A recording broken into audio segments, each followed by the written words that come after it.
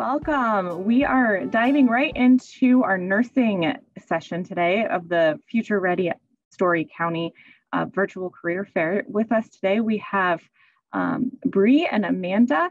They are from area um, medical or area uh, clinics, hosp uh, the hospital, and um, I'm going to turn it over to them to introduce themselves, um, give you an idea of what they do, um, where they're working, what their working environment is like, and we will go from there. Bree, do you want to start? Good afternoon. My name is Bree. I'm the inpatient care supervisor at Story Medical. My working environment, the clients we serve are primarily middle-aged to upper-age geriatric. We are a swing bed facility, so we do lots of physical and occupational therapy. Not to say that we don't take care of younger adults coming in through our ED with more acute issues. So wide variety of people under one small roof. Great. And Amanda?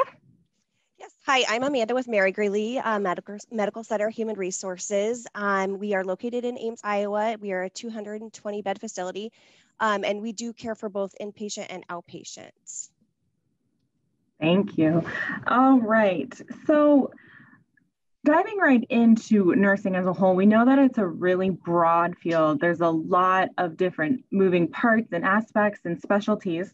So, what are some types of careers um, within nursing, and what are the varying levels of education or training required for those um, positions? Um, I'll go first on this one. Um, so, being a nurse offers a wide range of opportunities. Um, as far as nursing goes, Mary Greeley does hire LPNs in our acute rehab department and then also ADN, so two year nurses um, throughout the hospital in both, again, inpatient and outpatient experience. And then we also um, have employed uh, at Mary Greeley BSN nurses, which are the four year nurses. Um, and then we do have some masters prepared uh, nurses, um, which may be a requirement in some of the advanced professional positions. And I do believe that we do have employed um, one or two DNPs um, as well. Right. Here in the critical access realm, we do have an LPN on staff in the hospital side understand that Story Medical is attached to our clinics, so sometimes that can be confusing. But talking about hospital specifically, we do have one LPN. That LPN has the advanced IV therapy course. Typically, we hire RNs at minimum with the two-year degree, and um, BSNs. We have those um, going RN to BSN bridge education. In our ED, you might have heard before, we can hire advanced practice nurses, we call them mid-levels, and they can become ED providers in that realm. In the sector of the OR and outpatient clinic for us, those are RNs. Those need to be um, nurses that are capable of providing all sorts of tasks and circulating and scrubbing into the OR. And then um, for professional development here at Mary Greeley, to assist our employees to getting, you know, from uh, one position into maybe um, a promotional opportunity, we do offer tuition reimbursement. Um, and that is $2,000 um, for an employee that is working towards their two-year degree or their ADN um, and then $3,000 um, for a nurse that's working towards their uh, BSN, and then $4,000 each year um, to assist anyone that would like to work on their master's um, degree. We also offer tuition assistance here, and we're actually going through a process of making sure that what we're offering is comparable and fair to our employees. So stay tuned for that, and you can inquire with our HR if you're curious about those exact numbers as that process evolves. Oh, that's an outstanding opportunity for um, future employees, that's for sure, especially those who are looking to enter the workforce in the next couple of years. Um, so within those those different jobs, those different positions, which are the highest needs that you have right now? I would definitely say um, the bedside uh, nursing position is where we are in most most need. That's where most of our nursing openings are. Sorry. That's okay. Um, yes, same here at Story Medical. The beauty of our hospital being smaller due to being critical access is that you have a ton of opportunity to cross train. For example, before I became supervisor, I worked on the floor on inpatient. I floated to ED and became certified in a trauma course that's uh, required for that, and then worked in our outpatient OR. So the opportunity to get variety here is there, but like Amanda said, the boots on the ground is always our highest need. You may or may not know that there's a nursing shortage across America. That's been going on for some time. So this might be a good segue, but your career uh, stability is definitely there in nursing. Nurses are needed everywhere. You can get a job in any of these 50 states, and there's so many different types of things you can do. So if you get bored, you can transition. I did geriatrics for over 10 years and then moved into the hospital realm. So there's always, always, always something to fill your cup and also have that um, reliability in your career. So it's pretty safe to say that if someone comes out of school and they're ready to get into healthcare, there's a spot for them. They can basically pick their position. That's awesome. That's an amazing opportunity. How did oh, you I want to point out, oh, um, Amanda mentioned LPNs and we kind of talked about LPN. So what that means for your students is that is typically a certificate program. You're a licensed practical nurse. Your scope of practice is of course smaller than a registered nurse, but in other factors or other sectors of healthcare, long-term care especially, you can really gain a bulk of your knowledge and experience while you, if you want to move on to your RN BSN programs, are doing that as well. So you can be working while you're working toward that RN and uh, long-term care pay scales are a little bit different. So you might find that's actually a comfortable place to start as well we don't we haven't even mentioned certified nursing assistants. And so in high school you can even take that course as i did and and start you know working and even just trying it on. Is this for me? Do i even like this kind of work? Do i have the personality for this? Is this fulfilling? And then you know you're not halfway through your four year degree going ah! Yes. Um, and then i know that um, do patient care techs fall under the umbrella of nursing? Yes. Okay and do those require two-year degrees as well, or is that a certificate? The CNAs um, are actually offered through a lot of the community colleges, um, and, and, a lot of time they will branch out to the nursing homes for their clinical for that. Um, and they are 75 hour courses, or the advanced um, CNA class is 150 hours. Okay.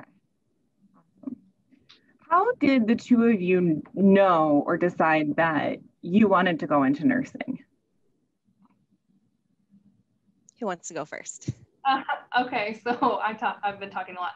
Um, I, like I said, I, I was a CNA in high school. I actually knew in eighth grade.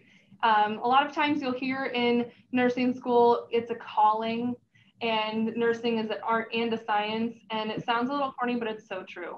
It's just something that you just feel drawn to. So becoming a nursing assistant, um, which full disclosure totally freaked me out. I waited almost a whole year before I had to retest before I worked in that field. Um, you know, it's a big, it's a big deal. It's like entering the gateway, if you will. But then um, after that, just getting, really getting that human connection and getting, for me, it was absorbing people's stories and just getting to kind of pick their brain about things and um, one of my favorite questions to ask the elderly is what advice would you have for somebody my age and whatever age I was at that time? Just hear how they perceive the world or what they've lived through. Um, that's just really one of the best parts of nursing, in my opinion.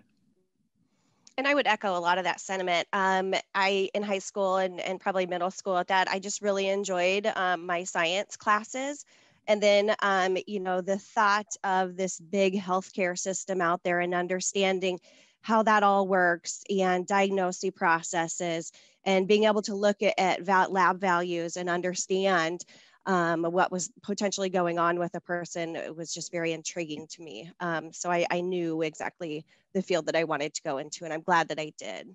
I mean, here I am as an example to you of the, um, you know, vast variety of things that you can do in healthcare and in nursing in particular. Here I am as an RN BSN and I'm working in human resources um, as a business partner at Mary Greeley and working with my leaders, my directors, my supervisors um, with um, succession planning, um, figuring out how they can advance their departments. Um, and it's just been a phenomenal move. I've been in HR for five years. Prior to that, I was an oncology nurse for eight and a half years and then neurology before that. So um, it just goes to show the opportunities that are available. Absolutely. And I'd like to take a moment to point out I am one of those RNs with a two year degree. And honestly, just a, a, BSN is something I've thought about, but it's not something that I feel is absolutely necessary for what I do and what roles I found myself in. I've been in leadership roles for about five years now, and with just a two year degree. So you can achieve lots of things at any educational level. Opportunities will present themselves. And there's this kind of unknown um, area where you can become board certified in a specialty.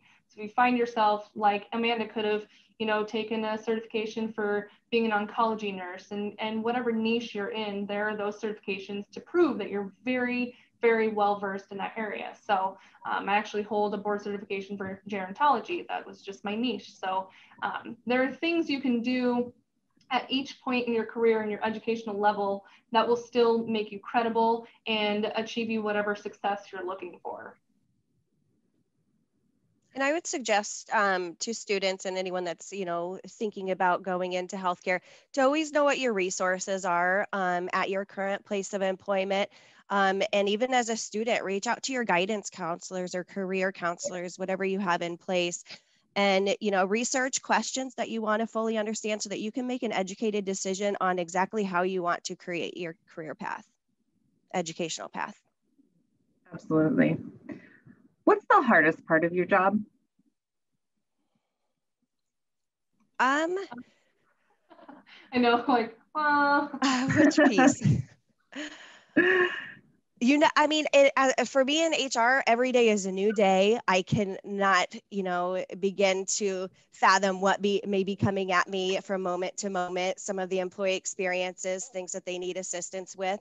So every day is a new day. I do like that piece. Um, i think as um, a bedside nurse and then also in my current role i'm just um, needing to be flexible and um, constant interruptions. There's just always things coming at you because things are always changing and and that's good. I mean that prevents you from getting bored i suppose. Yes uh, echoing a lot of that what amanda said.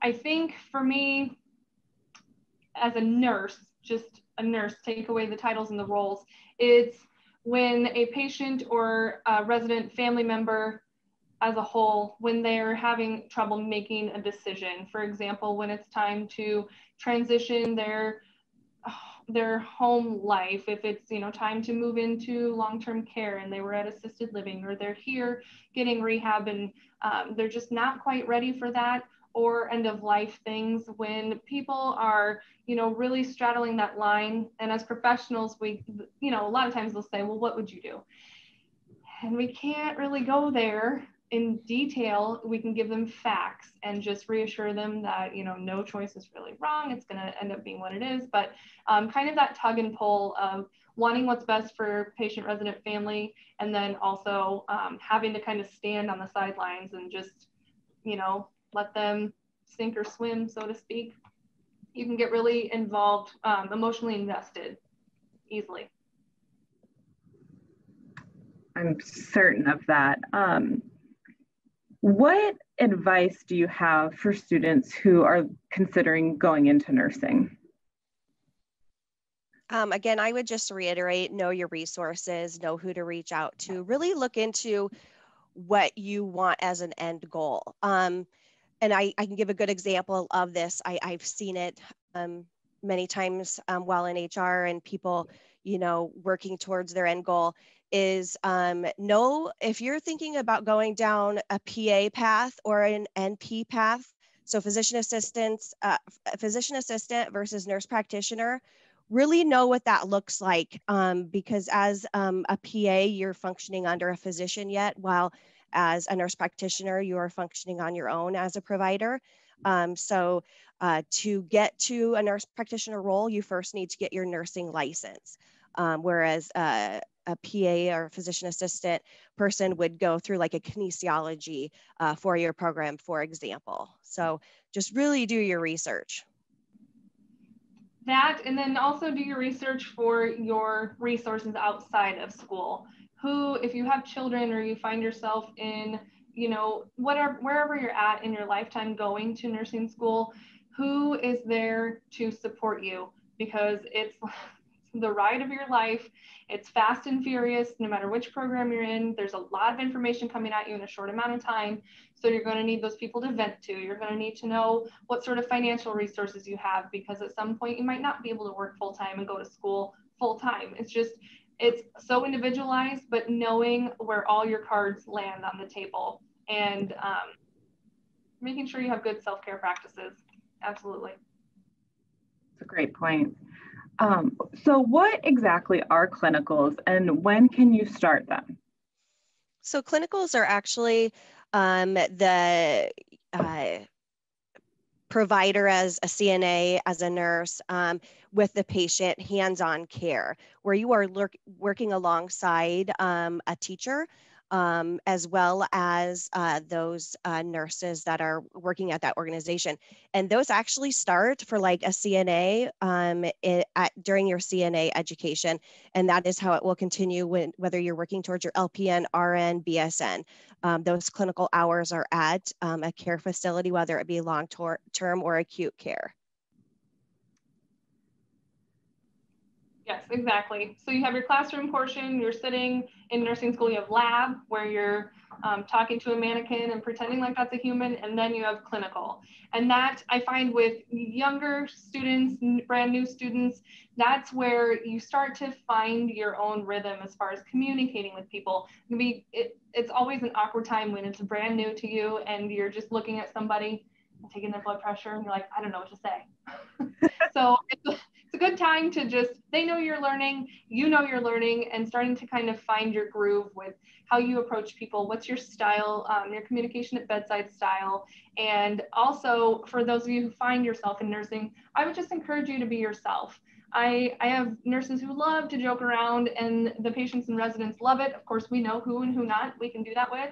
And some people who love to educate and that's their forte. And so as a team, it takes all of us and all of our dis- different personalities and communication styles. So um, please don't ever feel like, oh, well, I'm not professional enough to be a nurse or I'm not, you know, X, Y, Z, because nursing, again, is so versatile and so flexible. Yeah, and I think clinical is um, oftentimes where people find their love and passion for a specialty.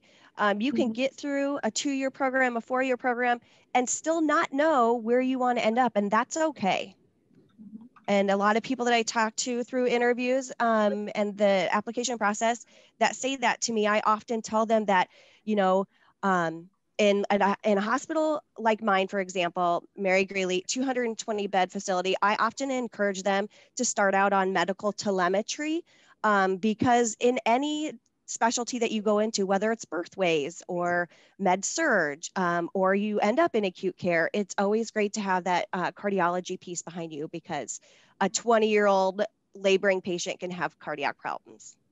It's across the board.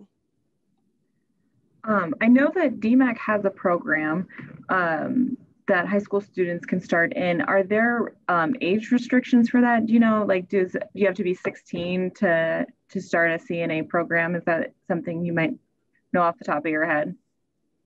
Mm, I don't know like, any age okay. requirements. I, am not certain. Okay. My class was like 16 years ago, so who knows? That's fair.